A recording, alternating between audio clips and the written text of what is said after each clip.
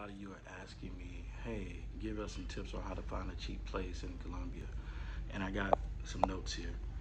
I just want to say first and foremost, I'm not a pro. I went to Colombia to get away. I love Medellin, Colombia.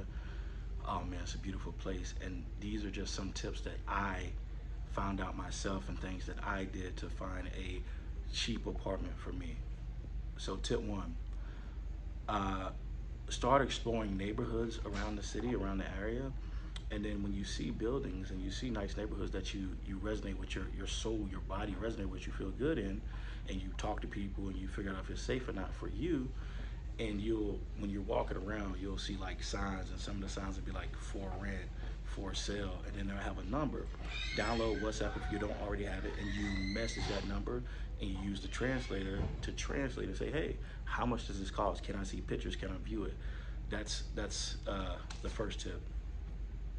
Second, you know, um, I started to visit Sweet George's Cafe or different cafes around the city. Obviously, if you've never been, you won't know until you go there.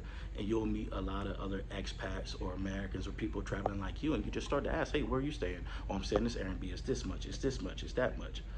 And so you just network that way. Um, uh, thirdly, I know there's a lot of like uh, Facebook groups and stuff like that. You can um, ask, uh, join Medellin expats groups or whatever, and you can ask them, and then they've been out there or they heard word of mouth or they've been there for years, and then they can tell you, hey, uh, this place, call this number. This is the person I'm I'm going through. Um,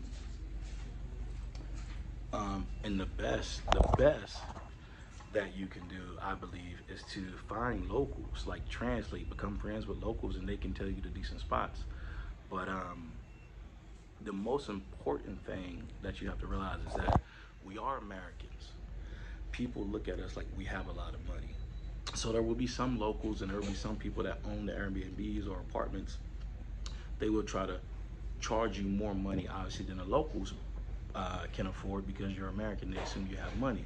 So yes, there's you will find out that there once you get to know people, there's going to be a place for 350 USD that has two bedrooms, three baths. That's that's big and large. A caveat to that: it depends on the area and it depends on who you know, because not saying they're screwing you over, but they don't make a lot of money, so therefore. If, if, if you're American or whatever and you want to go there and they, they think they can make more money off you, a lot of times they'll do that. Not saying it's right or wrong. So basically, locals can tell you, oh, I'm paying this much. This is how much you should pay. But hey, you're a gringo, so you might pay this much. So it's a quick three minute video. I, I hope this helps. And so let's recap. Find a neighborhood you like, walk around, look for signs. Um, go to nice restaurants and ask other expats and Americans, hey, or locals in the restaurant, hey, where you stay? How do you do that? Uh, three Facebook groups. Four, meet locals and ask them. Anyway, I hope this helps, guys. Uh, comment below if it did help. And again, I'm rushing, but I